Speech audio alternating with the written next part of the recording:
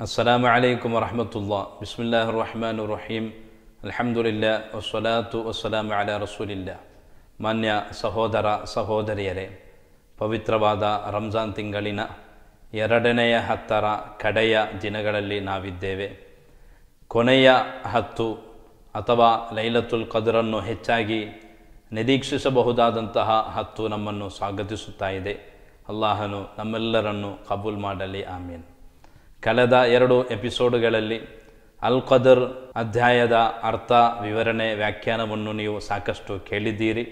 ಇನ್ಶಾಲ್ಲ ಇಂದಿನ ಕಂತಿನೊಂದಿಗೆ ಈ ಒಂದು ಸೂರಾವನ್ನು ನಮಗೆ ಮುಕ್ತಾಯಗೊಳಿಸೋಣ. ಕಳೆದ ಎರಡು ಎಪಿಸೋಡ್ನಲ್ಲಿ ಲೈಲತುಲ್ ಕದರ್ನ ಮಹತ್ವವೇನು, ಅಲ್ಲಾಹನು ಅದಕ್ಕೆ ಕೊಟ್ಟಂತಹ ಸ್ಥಾನಮಾನವೇನು ಎಂಬುದನ್ನು ನೀವೆಲ್ಲರೂ ಕೂಡ ಅರಿತಿದ್ದೀರಿ. ಅಲ್ಲಾಹನು ಲೈಲತುಲ್ ಖದರ್ ಮೂಲಕ ಭಾಗ್ಯವಂತರಾಗುವ ಸಜ್ಜನರ ಪೈಕಿ ನಮ್ಮೆಲ್ಲರನ್ನು ಸೇರಿಸಲಿ, ಆಮೀನ್. ಮಾನ್ಯರೇ, ಇಂದಿನ ಕಂತಿನಲ್ಲಿ ಲೈಲತ್ತುಲ್ ಕದರ್ ಸಂಬಂಧಿತವಾದ ಕೆಲವೊಂದು ಮಾಹಿತಿಗಳನ್ನು ನಿಮ್ಮೊಂದಿಗೆ ನಾನು ಹೇಳಲು ಬಯಸುತ್ತಾ ಇದ್ದೇನೆ. ಲೈಲತ್ತುಲ್ ಖದರ್ ಬಂತೆಂದರೆ, ಆ ರಾತ್ರಿಯಲ್ಲಿ ನಾವು ಏನು ಹೇಳಬೇಕು, ಯಾವ ದ್ವಾವನ್ನು ಹೆಚ್ಚಾಗಿ ನಡೆಸಬೇಕು ಎಂಬ ಪ್ರಶ್ನೆಯನ್ನು ಸಾಮಾನ್ಯರು ಕೇಳುತ್ತಾರೆ. ಈ ಒಂದು ಪ್ರಶ್ನೆಯನ್ನು ಹಜರತ್ ಆಯಿಷಾ ರದಿಯಲ್ಲಾವನ್ಹರವರು ಪ್ರವಾದಿ ಮೊಹಮ್ಮದ್ ಸಲ್ಲಾಹು ಅಲಿ ವಸಲ್ಲಮಾರವರೊಂದಿಗೆ ಕೇಳಿದ್ದರು. ಹದೀಸ್ನಲ್ಲಿ ಕಾಣಬಹುದು ಅರ ಐತ ಇನ್ ವಾಕಫ್ತು ಲೈಲತಲ್ ಕದರ್ ಮಾ ಅದು ಓ ಪ್ರವಾದಿವರಿಯರೇ, ಪವಿತ್ರವಾದ ಲೈಲತುಲ್ ಕದರ್ ನಮಗೆ ಲಭಿಸುವುದಾದರೆ, ಆ ರಾತ್ರಿ ನಾವು ಏನನ್ನು ಪ್ರಾರ್ಥಿಸಬೇಕು? ನಾವು ಹೆಚ್ಚಾಗಿ ಯಾವ ದುಆ ನಡೆಸಬೇಕು? ಆ ವೇಳೆ ಪ್ರವಾದಿ ಸೊಲ್ಲಲ್ಲಾಹು ಅಲಿ ವಸಲ್ಲಮಾರವರು ಕೊಟ್ಟ ಉತ್ತರವೇನೆಂದರೆ, ತಕೂಲೀನ್ ತಾವು ಹೇಳಿರಿ ಅಲ್ಲಾಹುಮ್ಮ ಇನ್ನಕ ಅಫುವನ್ ತುಹಿಬ್ಬುಲ್ ಅಫ್ವ ಫಫು ಅನ್ನಿ ಎಂಬ ಪ್ರಾರ್ಥನೆಯನ್ನು. ಸುಂದರವಾದ, ವಿಶಾಲವಾದ ಅರ್ಥವನ್ನು ಹೊಂದಿದಂತಹ ಒಂದು ಪ್ರಾರ್ಥನೆಯಾಗಿದೆ ಇದು. ಅಲ್ಲಾಹುಮ್ಮ ಇನ್ನಕ ಅಫುವನ್, ಅಲ್ಲಾಹನೇ ನೀನು ಕ್ಷಮಿಸುವನಾಗಿದ್ದಿ. ತುಹಿಬ್ಬುಲ್ ಅಫ್ವ, ಕ್ಷಮಿಸುವುದನ್ನು ಇಷ್ಟಪಡುವವನು ನೀನು. ಫಾಫು ಅನ್ನಿ, ನನಗೂ ಕೂಡ ನೀನು ಕ್ಷಮೆಯನ್ನು ಕೊಡಬೇಕು ಎಂದು ನಾವು ಕರೆಕ್ಟಾಗಿ ಹೇಳಬೇಕು. ಒಟ್ಟಾರೆಯಾಗಿ ಹೇಳಿದರೆ ಸಾಲದು. ಬದಲಾಗಿ, ಅಲ್ಲಾಹುಮ್ಮ ಇನ್ನಕ ಅಫುವನ್ ತುಹಿಬುಲ್ ಅಫ್ವ ಫಾಫು ಅನ್ನಿ ಎಂಬ ಪ್ರಾರ್ಥನೆ. ನಾವು ರಂಜಾನಿನ ಕಡೆಯ ಹತ್ತರಲ್ಲಿ ಸಾಕಷ್ಟು ಹೇಳುವಂತಹ ಒಂದು ಪ್ರಾರ್ಥನೆ ಕೂಡ ಹೌದು. ಈ ಪ್ರಾರ್ಥನೆಯನ್ನು ಲೈಲತುಲ್ ಕದುರೆಂದು ನಮಗೆ ತಿಳಿದರೆ ಅಥವಾ ಸಾಧ್ಯತೆಗಳು ನಮ್ಮ ಮುಂದೆ ಪ್ರತ್ಯಕ್ಷಗೊಂಡರೆ ನಾವು ಹೆಚ್ಚಾಗಿ ಹೇಳಬೇಕು. ಒಟ್ಟಾರೆಯಾಗಿ ಕಡೆಯ ಹತ್ತು ದಿನರಾತ್ರಿಗಳಲ್ಲಿ ಇದನ್ನು ನಾವು ವರ್ಧಿಸಬೇಕು. ಅಲ್ಲಾಹನು ತೋಫಿಕ್ ನೀಡಲಿ, ಆಮೀನ್. ಇನ್ನು ಮಾನ್ಯರೇ, ಲೈಲತುಲ್ ಕದರ್ ಯಾವ ರಾತ್ರಿ ಎಂದು ಸಂಭವಿಸಬಹುದು? ಏನು? ಇದರ ಕುರಿತಾಗಿ ಹದೀಸ್ಗಳಲ್ಲಿ ಬಂದ ಸಾಧ್ಯತೆಗಳು. ಒಂದು ವಿಷಯವನ್ನು ನೀವು ಮೊದಲನೇದಾಗಿ ಮನವರಿಕೆ ಮಾಡಿಕೊಳ್ಳಬೇಕು. ಅದೇನೆಂದರೆ, ಇಂತಿಂತಹ ರಾತ್ರಿಯಲ್ಲಿಯೇ ಲೈಲತುಲ್ ಕದರ್ ಸಂಭವಿಸುತ್ತದೆ ಎಂಬುದನ್ನು ಅಲ್ಲಾಹನು ನಮಗೆ ತಿಳಿಸಿಕೊಡಲಿಲ್ಲ. ಯಾವ ಕಾರಣಕ್ಕಾಗಿ ತಿಳಿಸಿಕೊಡಲಿಲ್ಲವೆಂದರೆ ರಂಜಾನಿನ ಪ್ರತಿಯೊಂದು ರಾತ್ರಿಗಳನ್ನು ಕೂಡ ಇಬಾದತ್ನ ಮೂಲಕ ಧನ್ಯಗೊಳಿಸುವ ಸಲುವಾಗಿ ಇಮಾಮ್ ರಾಜಿರಲಿ ಅಲ್ಲಾಹುನ್ನರವರಂತಹ ಮಹಾತ್ಮರುಗಳು ವಿವರಿಸುವುದು ನಮಗೆ ಕಾಣಬಹುದು. ಕೆಲವು ಜನರಿದ್ದಾರೆ. ಅವರಿಗೆ ಅದೆಷ್ಟು ದೊಡ್ಡ ಮಹತ್ವ ತುಂಬಿದ ರಾತ್ರಿ ಬಂದರೂ ಕೂಡ ಅವರ ಪಾಲಿಗೆ ಎಲ್ಲವೂ ಕೂಡ ಸಾಮಾನ್ಯವಾದ ರೀತಿಯಲ್ಲೇ ಇರುತ್ತದೆ. ಅವರ ಏನು ವಿಶೇಷತೆ ಕೊಡುವುದಿಲ್ಲ. ತಮ್ಮ ಪಾಪಗಳಲ್ಲಿ ಅವರು ತಲ್ಲೀನರಾಗಿ ಬಿಡುತ್ತಾರೆ. ಇಂತಹ ಮಂದಿಗಳು ಅಂದರೆ ಇದೊಂದು ಮಹತ್ವ ತುಂಬಿದಂತಹ ದಿನ ಅಥವಾ ರಾತ್ರಿ ಎಂದು ತಿಳಿದೂ ಕೂಡ ಯಾರಾದರೂ ಹರಾಮಾದ ಕಾರ್ಯಗಳನ್ನು, ತಪ್ಪುಗಳನ್ನು ಮಾಡಿದರೆ ಆತನಿಗೆ ಅಲ್ಲಾಹನು ಕಠಿಣವಾದ ಶಿಕ್ಷೆಯನ್ನು ಕೊಡುತ್ತಾನೆ. ಕಾರಣ ಅರಿವಿದ್ದೂ ಕೂಡ ಆ ದಿನ ರಾತ್ರಿಯ ಮಹತ್ವವನ್ನು ಕಾಪಾಡದೇ ಇದ್ದುದಾಗಿದೆ ಇದಕ್ಕಿರುವಂತಹ ಒಂದು ಕಾರಣ. ಇಂತಹ ಒಂದು ಪರಿಸ್ಥಿತಿ ಪ್ರವಾದಿ ಮೊಹಮ್ಮದ್ ಸಲ್ಲಾಹು ಅಲಿ ಉಮ್ಮತ್ತು ಪೈಕಿ ಯಾರಿಗೂ ಕೂಡ ಬರುವುದು ಬೇಡ ಎಂಬ ಇರಾದೆಯಾಗಿದೆ. ಅಲ್ಲಾಹನಿಗೆ ಇರುವುದು. ಆದ್ದರಿಂದಲೇ ಅಲ್ಲಾಹನು ಗೌಪ್ಯವಾಗಿ ಅದನ್ನು ಇಟ್ಟಿದ್ದಾನೆ. ಇಬಾದತ್ಗಳಲ್ಲಿ ತಲ್ಲೀನರಾಗುವಂತಹ ಜನರು ಅವರ ಇಬಾದತ್ಗಳಲ್ಲಿ ಏರ್ಪಡಲಿ. ಪಾಪಗಳನ್ನು ಮಾಡುವಂತಹ ಜನರು ಅವರ ಅರಿತೂ ಕೂಡ ಪಾಪವನ್ನು ಮಾಡುವುದರ ಮೂಲಕ ಮಹಾಶಿಕ್ಷೆಗೆ ಗುರಿಯಾಗುವುದು ಬೇಡ ಎಂದಾಗಿದೆ ಅಲ್ಲಾಹನು ನಮಗೆ ತೋರುತ್ತಿರುವಂತಹ ಒಂದು ಕರಣೆ. ಏನು ಇರಲಿ, ನಾನು ನನ್ನ ವಿಷಯದತ್ತ ಬರುತ್ತಾ ಇದ್ದೇನೆ. ಅಲ್ಲಾಹನು ಗೌಪ್ಯವಾಗಿಟ್ಟಿದ್ದಾನೆ. ಈ ಒಂದು ರಾತ್ರಿ ಯಾವುದು ಎಂಬುದರ ಕುರಿತಾಗಿ. ಆದರೂ ಕೂಡ ಉಲಮಗಳು, ಇಮಾಮರುಗಳು ನಮಗೆ ಅನೇಕ ಸಾಧ್ಯತೆಗಳನ್ನು, ಹದೀಸ್ನ ವಚನಗಳನ್ನು ವಿವರಿಸಿ ನಮಗೆ ಹೇಳಿರುವುದು ಕಾಣಬಹುದು. ಇಲ್ಲಿ ಮೊದಲನೇ ಪ್ರಶ್ನೆ ಏನೆಂದರೆ ಈ ಲೈಲತುಲ್ ಕದರ್ ಎಂಬುದು ವರ್ಷಂಪ್ರತಿ ನಿರ್ದಿಷ್ಟವಾದ ಒಂದು ರಾತ್ರಿಗೆ ಸೀಮಿತವಾಗಿರುತ್ತದೆಯೋ, ಅಥವಾ ಪ್ರತಿಯೊಂದು ವರ್ಷಗಳಲ್ಲಿಯೂ ಅದು ಬೇರೆ ಬೇರೆ ರಾತ್ರಿಗಳಾಗಿ ಬದಲಾವಣೆಯಾಗುತ್ತಾ ಇರುತ್ತದೆಯೋ ಎಂಬಂತಹ ಒಂದು ಪ್ರಶ್ನೆ. ಇದಕ್ಕೆ ಅನೇಕ ಒಲೆಮಾಗಲು ಹೇಳಿದಂತಹ ಅಭಿಪ್ರಾಯವೇನೆಂದರೆ, ಇದು ಪ್ರತಿ ವರ್ಷ ಕೂಡ ಒಂದು ನಿರ್ದಿಷ್ಟ ರಾತ್ರಿಯಲ್ಲಿಯೇ ಬರುತ್ತದೆ. ಅಲ್ಲಾಹನು ಒಂದು ನಿರ್ದಿಷ್ಟ ರಾತ್ರಿಯನ್ನು ನಿಗದಿಪಡಿಸಿದ್ದಾನೆ. ಅದೇ ರಾತ್ರಿಯಲ್ಲಿಯೇ ವರ್ಷಂಪ್ರತಿ ನಡೆಯುತ್ತದೆ ಎಂದಾಗಿದೆ ಮಹಾತ್ಮರುಗಳು ನಮಗೆ ಹೇಳಿರುವುದು. ಇಲ್ಲಿ ಉಲಮಾಗಲು ಹೇಳಿದಂಥ ಇನ್ನೊಂದು ಅಭಿಪ್ರಾಯವಿದೆ. ಇದು ಫಿಕ್ಸ್ಡ್ ಆಗಿದ್ದರೂ ಕೂಡ ಕಡೆಯ ಹತ್ತರ ದಿನಗಳಲ್ಲಾಗಿದೆ, ಹೆಚ್ಚಿನ ಸಾಧ್ಯತೆ ಇರುವುದು. ಅದರಲ್ಲೂ ಕೂಡ ಬೆಸ ಸಂಖ್ಯೆಯಾಗಿ ಬರುವಂತಹ ರಾತ್ರಿಗಳು, ಇಪ್ಪತ್ತೊಂದು ಇಪ್ಪತ್ತ ಮೂರು ಇಪ್ಪತ್ತೈದು, ಇಪ್ಪತ್ತೇಳು, ಇಪ್ಪತ್ತೊಂಬತ್ತು, ಈ ರಾತ್ರಿಗಳಲ್ಲಿ ಹೆಚ್ಚಿನ ಸಾಧ್ಯತೆಗಳು ಇವೆ ಎಂಬುದನ್ನು ಕೂಡ ಒಲೆಮಾಗಲು ನಮಗೆ ವಿವರಿಸಿದ್ದಾರೆ. ಇಮಾಮ್ ಶಾಫಿರ್ ಅಲಿ ಅಲ್ಲಾಹುನರವರು ಈ ಒಂದು ಅಭಿಪ್ರಾಯವನ್ನಾಗಿದೆ ಪ್ರಕಟಿಸಿರುವುದು. ಶಾಫಿ ಇಮಾಮ್ ರಲಿ ಅಲ್ಲಾಹುನರವರ ಪ್ರಕಾರ ಒಂದೋ ಇಪ್ಪತ್ತ ಒಂದನೇ ರಾತ್ರಿಯಲ್ಲಿ ಅದು ಫಿಕ್ಸ್ ಆಗಿದೆ. ಅಥವಾ ಇಪ್ಪತ್ತ ಮೂರರ ರಾತ್ರಿಯಲ್ಲಿ ಅದನ್ನು ಅಲ್ಲಾಹನು ನಿಗದಿ ಮಾಡಿದ್ದಾನೆ ಎಂದು ಇಮಾಮ್ ಶಾಫಿರ್ ಅಲಿ ಅಲ್ಲಾಹನರವರು ಹೇಳಿದ್ದಾರೆ. ಇನ್ನು ಬಹುಪಾಲು ಒಲೆಮಾಗಲು ಹೇಳುವುದೇನೆಂದರೆ, ಅದು ಇಂತಿಂತಹ ಒಂದು ನಿರ್ದಿಷ್ಟ ರಾತ್ರಿಗೆ ಅಲ್ಲಾಹನು ನಿಗದಿಪಡಿಸಲಿಲ್ಲ ಎಂದಾಗಿದೆ. ಬದಲಾಗಿ ಪ್ರತಿ ವರ್ಷ ಕೂಡ ಅದು ಚೇಂಜ್ ಆಗುತ್ತಲೇ ಇರುತ್ತದೆ, ಬದಲಾಗುತ್ತಲೇ ಇರುತ್ತದೆ. ವಿಶೇಷವಾಗಿಯೂ ಕಡೆಯ ಹತ್ತು ರಾತ್ರಿಗಳಲ್ಲಿ ಅದು ತುಂಬ ಹೆಚ್ಚಿನ ಸಾಧ್ಯತೆ ಇದೆ ಸಂಭವಿಸಲಿಕ್ಕೆ ಎಂದು ಕೂಡ ಅನೇಕ ಒಲೆಮಾಗಲು ನಮಗೆ ಹೇಳಿಕೊಟ್ಟಿದ್ದಾರೆ. ಇಮಾಮ್ ನಬವಿ ರದಯಲ್ಲಾಹುನ್ನರವರಂತಹ ಮಹಾತ್ಮರುಗಳು ಈ ಅಭಿಪ್ರಾಯವನ್ನಾಗಿದೆ ಪ್ರಕಟಿಸಿರುವುದು.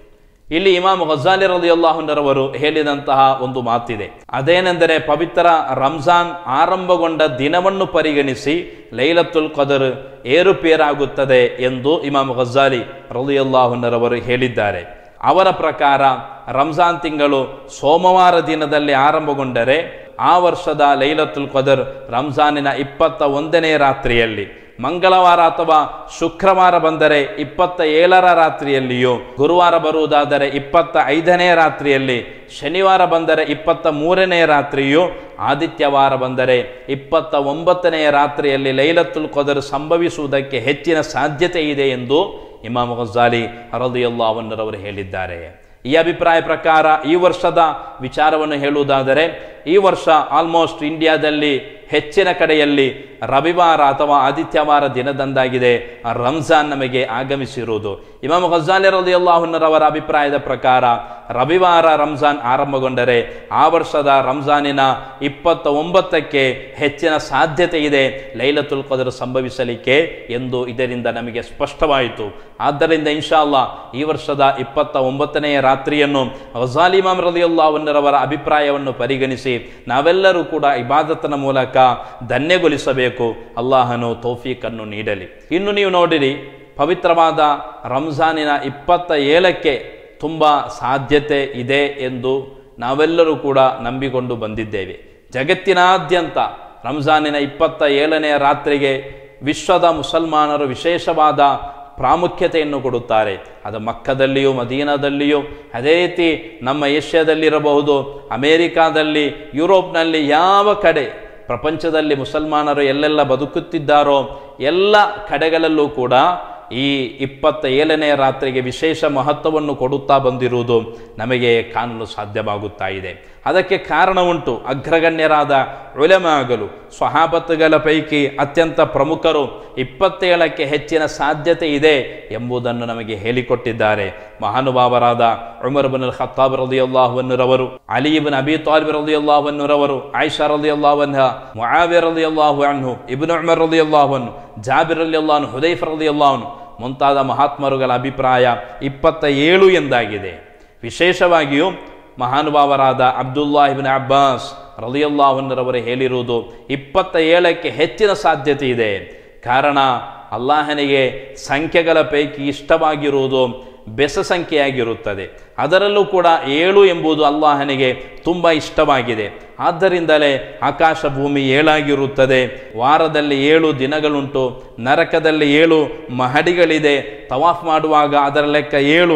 ಈ ರೀತಿ ಅನೇಕ ವಿಶೇಷತೆ ಏಳು ಎಂಬ ಸಂಖ್ಯೆಗೆ ಇದೆ. ಆದ್ದರಿಂದಲೇ ಏಳು ಎಂಬ ಸಂಖ್ಯೆ ಬರುವಂತಹ ಇಪ್ಪತ್ತ ಏಳಕ್ಕೆ ಹೆಚ್ಚಿನ ಸಾಧ್ಯತೆ ಇದೆ ಎಂದು ಇಬ್ನ ಅಬ್ಬಾಸ್ ರಲಿಯಲ್ಲಾಹನರವರು ಹೇಳಿದ್ದಾರೆ. ಅವರು ಹೇಳುವಂಥ ಇನ್ನೊಂದು ಅಭಿಪ್ರಾಯವಿದೆ. ಅದೇನೆಂದರೆ ಪವಿತ್ರವಾದ ಸೂರತುಲ್ ಕದರ್ನಲ್ಲಿ ಲೈಲತುಲ್ ಕದರಿ ಎಂಬ ಈ ಎರಡು ಶಬ್ದ ಅಥವಾ ಲೈಲತುಲ್ ಕದರಿ ಎಂಬ ಎರಡು ಪದಗಳನ್ನು ಒಳಗೊಂಡಂತಹ ಈ ಒಂದು ಮಾತು ಇದರಲ್ಲಿ ಒಟ್ಟು ಒಂಬತ್ತು ಅಕ್ಷರಗಳಾಗಿವೆ ಇರುವುದು.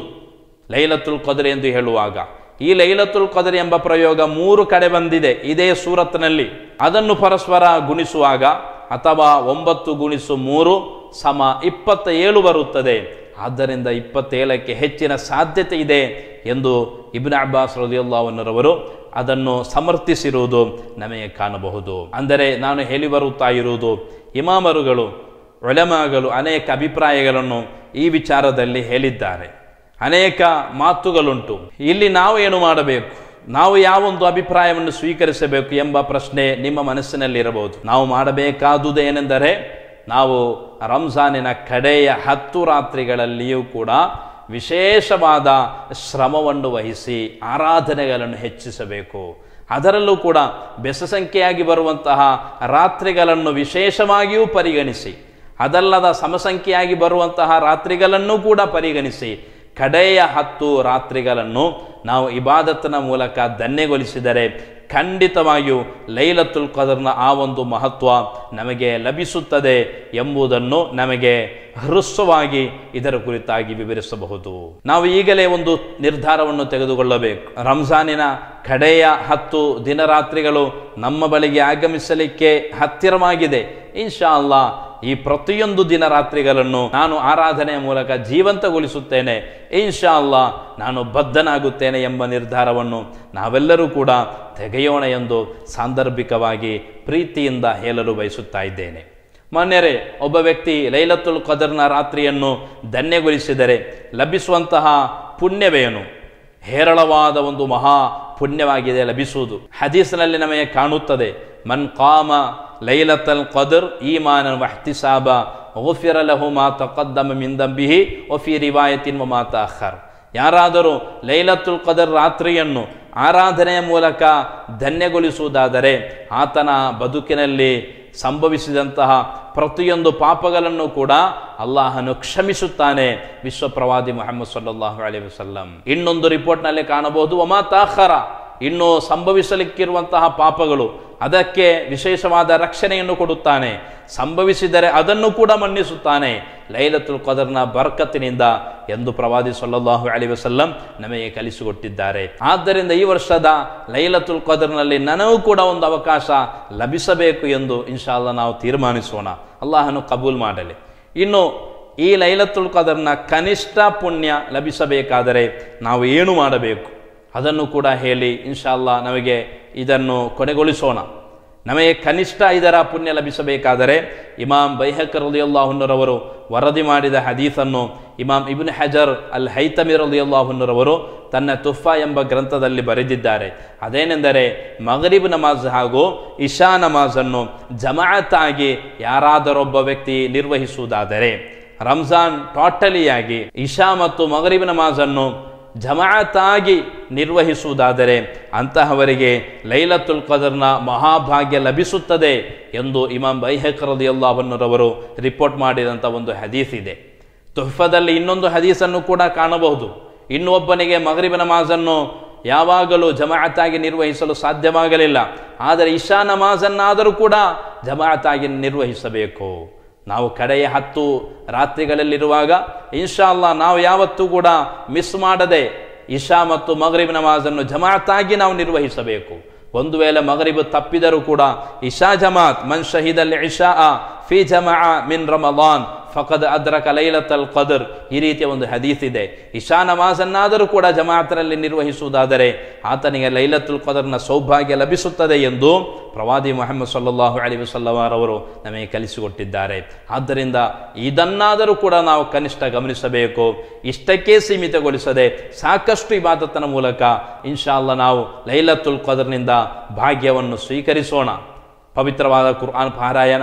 ಸುನ್ನತ್, ನಫಲ್ ನಮಾಜ್ಗಳನ್ನು ನಿರಂತರವಾಗಿ ಹೆಚ್ಚಿಸುವುದು ತಸ್ವಿ ನಮಾಜ್ ಮಾಡುವುದು, ತೌಬಾ ಮಾಡುವುದು ಇಸ್ತಿಫಾರೆ ಹೇಳುವುದು, ಲಾ ಇಲಾಹ ಇಲ್ಲಲ್ಲ ತಹಲೀಲಿ ಹೇಳುವುದು. ಅದೇ ರೀತಿ ಪ್ರಭಾ ಸಲ್ಲಾ ಅಲಿ ಸಲ್ಲಮಾರವರ ಮೇಲೆ ಸ್ವಲಾತೆ ಹೇಳುವುದು. ಈ ರೀತಿ ಇಬಾದತುಗಳನ್ನು ನಾವು ಹೆಚ್ಚಿಸಬೇಕು. ಇನ್ನು ಮಾನ್ಯರೇ, ಒಂದು ವಿಚಾರ. ಈ ಲೈಲತುಲ್ ಕದರಿಗೆ ನಿರ್ದಿಷ್ಟವಾದ ಲಕ್ಷಣಗಳನ್ನು ಪ್ರವಾದಿ ಮೊಹಮ್ಮದ್ ಸಲ್ಲಾಹು ಅಲಿ ವಸಲ್ಲಮರವರು ನಮಗೆ ಕಲಿಸಿಕೊಟ್ಟಿದ್ದಾರೆ. ಹದೀಸನ್ನು ವಿವರಿಸಿ ಇಮಾಮ್ ಇಬ್ನ್ ಹಜರ್ ಅಲಿ ಅಲ್ಲಾಹುನರವರು ತನ್ನ ಗ್ರಂಥದಲ್ಲಿ ಬರೆದಿದ್ದಾರೆ. ಅದೇನೆಂದರೆ ಲೈಲತುಲ್ ಕದರ್ನ ರಾತ್ರಿಯಲ್ಲಿ ಒಂದು ಸಾಮಾನ್ಯ ವಾತಾವರಣವಿರುತ್ತದೆ. ಒಂದು ಭೀಕರತೆ ಇರುವುದಿಲ್ಲ. ಅಂದಿನ ರಾತ್ರಿ ಒಂದು ಉತ್ತಮವಾದ ಪ್ರಶಾಂತ ವಾತಾವರಣದಲ್ಲಿ ಇರುತ್ತದೆ. ಮಾತ್ರವಲ್ಲ, ಅದರ ಮರುದಿನದ ಸೂರ್ಯೋದಯದ ವೇಳೆ ಆ ಸೂರ್ಯನ ರಶ್ಮಿ ತೀಕ್ಷ್ಣವಾದ ರೀತಿಯಲ್ಲಿ ಇರದೆ, ಅದಕ್ಕೂ ಕೂಡ ಒಂದು ಸರಳತೆ ಲಭಿಸಲಿಕ್ಕೆ ಇದೆ ಎಂಬುದನ್ನು ಹದೀಸನ್ನು ವಿವರಿಸಿ ಇಮಾಮರುಗಳು ನಮಗೆ ಕಲಿಸಿಕೊಟ್ಟಿದ್ದಾರೆ. ಅಂದರೆ ಮರುದಿನದ ಬೆಳಗ್ಗೆ, ಆ ಬೆಳಗ್ಗೆಯ ಸೂರ್ಯೋದಯದ ವೇಳೆ ಒಂದು ಉತ್ತಮವಾದ ವಾತಾವರಣವನ್ನು ಕೂಡ ನಮಗೆ ಗಮನಿಸಲಿಕ್ಕೆ ಸಾಧ್ಯವಾಗುತ್ತದೆ. ಯಾವ ಕಾರಣಕ್ಕಾಗಿ ಲೈಲತುಲ್ ಕದರ್ನ ರಾತ್ರಿ ಮುಗಿದ ನಂತರದ ಅಥವಾ ಮರುದಿನದ ಹಗಲು ಹೊತ್ತಿನಲ್ಲಿ ಅದರ ಲಕ್ಷಣವನ್ನು ಅಲ್ಲಾಹನು ತೋರಿಸುವುದು. ಅದಕ್ಕೂ ಕೂಡ ಇಬ್ನ ಹಜರ್ ಅಲಿ ಅಲ್ಲಾಹುನರವರು ಒಂದು ಕಾರಣವನ್ನು ಹೇಳಿದ್ದಾರೆ. ಅದೇನೆಂದರೆ ಅಂದಿನ ರಾತ್ರಿಯನ್ನು ಇಬಾದತನ ಮೂಲಕ ಜೀವಂತಗೊಳಿಸಿದಂತೆ ಅಂದಿನ ಹಗಲು ಹೊತ್ತನ್ನು ಕೂಡ ಇಬಾದತನ ಮೂಲಕ ಜೀವಂತಗೊಳಿಸಲಿ. ಇದು ಯೂಸನ್ನು ಲಿಜಿತಿಹಾದು ಫೀಹಿ ಕಲೈಲತಿಹ. ಅಂದಿನ ಹಗಲು ಹೊತ್ತಿನಲ್ಲೂ ಕೂಡ ಇಬಾದತ್ತನ ಮೂಲಕ ಶ್ರಮವನ್ನು ಪಡುವುದು. ರಾತ್ರಿಯಲ್ಲಿ ಸುನ್ನತಿರುವಂತೆ ಹಗಲಿಯೂ ಕೂಡ ಸುನ್ನತಿದೆ ಎಂದು ಇಬ್ನ ಹಜರ್ ಅಲಿ ಅಲ್ಲಾಹನವರ ತುಫಾದಲ್ಲಿ ನಮಗೆ ವಿವರಿಸಿರುವುದು ಕಾಣಬಹುದಾಗಿದೆ. ರಾತ್ರಿ ಒಂದು ಲಕ್ಷಣ ಹಾಗೂ ಅದೇ ರೀತಿ ಬೆಳಗ್ಗಿನ ಸೂರ್ಯೋದಯದ ವೇಳೆಯಲ್ಲಿಯೂ ನಮಗೆ ಗೋಚರಿಸುವಂಥ ಒಂದು ಲಕ್ಷಣವನ್ನು ನಮಗೆ ಇದರಿಂದ ಮನವರಿಕೆ ಮಾಡಿಕೊಳ್ಳಬಹುದು. ಇನ್ಶಾ ಅಲ್ಲಾ ಆ ಲಕ್ಷಣ ಏನೆಂದು ನಮಗೆ ಗೊತ್ತಿದ್ದರೂ ಇಲ್ಲದಿದ್ದರೂ ಕೂಡ ನಾವು ಕಡೆಯ ಹತ್ತು ದಿನ ರಾತ್ರಿಗಳನ್ನು ಇಬಾದತ್ರ ಮೂಲಕ ನನಗೆ ಈ ಲೈಲತ್ತುಲ್ ಕದರ್ ಲಭಿಸಲೇಬೇಕು ಎಂಬ ದೃಢವಾದ ಸಂಕಲ್ಪವನ್ನು ಈಗಲೇ ನಾವು ತೆಗೆದುಕೊಂಡು ಇನ್ಶಾ ಅಲ್ಲಾ ಉತ್ತಮವಾದ ಇಬಾದತನ ಮೂಲಕ ನಾವು ಧನ್ಯಗೊಳಿಸೋಣ. ಅಂಗಡಿ ವ್ಯಾಪಾರವನ್ನು ನಡೆಸುವಂಥ ಜನರಿರಬಹುದು. ಆ ವ್ಯಾಪಾರವನ್ನು ಆದಷ್ಟು ಚುಟುಕಾಗಿ ಪೂರ್ಣಗೊಳಿಸಿ ನಾವು ಇಬಾದತಿಗೆ ಬೇಕಾಗಿ ಲೈಲತ್ತುಲ್ ಕದರ್ನ ಆ ಮಹತ್ವವನ್ನು ನಿರೀಕ್ಷಿಸಿ ಕಡೆಯ ಹತ್ತು ರಾತ್ರಿಗಳನ್ನು ಮೀಸಲಿಡೋಣ. ಅಲ್ಲಾಹನು ನಮಗೆಲ್ಲರಿಗೂ ಕೂಡ ಆ ಮಹಾ ಸೌಭಾಗ್ಯವನ್ನು ಕೊಟ್ಟು ಲೈಲತುಲ್ ಕದರ್ ಮೂಲಕ ವಿಜಯಗೊಂಡ ಸಜ್ಜನರ ಸಾಲಿನಲ್ಲಿ ನಮ್ಮೆಲ್ಲರನ್ನು ಅಲ್ಲಾಹನು ಒಳಪಡಿಸಲಿ. ಆಮೀನ್ ಎಂಬ ಪ್ರಾರ್ಥನೆಯೊಂದಿಗೆ ಅಲ್ಹಮ್ದುಲಿಲ್ಲ, ಅಲ್ಲಾಹರ ಅಪಾರವಾದ ಅನುಗ್ರಹದ ಮೂಲಕ ಲೈಲತುಲ್ ಕದರ್ನ ವಿಶೇಷತೆಯನ್ನು, ಲೈಲತುಲ್ ಕದರ್ನ ವಿಶೇಷತೆಯನ್ನು ಹೇಳುವ ಅಲ್ ಕದರ್ ಅಧ್ಯಾಯವನ್ನು ನಮಗೆ ಮೂರು ಕಂತುಗಳಲ್ಲಾಗಿ ಮುಗಿಸಲಿಕ್ಕೆ ಸಾಧ್ಯವಾಯಿತು. ಅಲ್ಲಾಹನು ಕಬೂಲ್ ಮಾಡಲಿ. ಅಸ್ಸಲಾಮು ಅಲೈಕುಮ್ ವರಹಮತುಲ್ಲಾಹ್.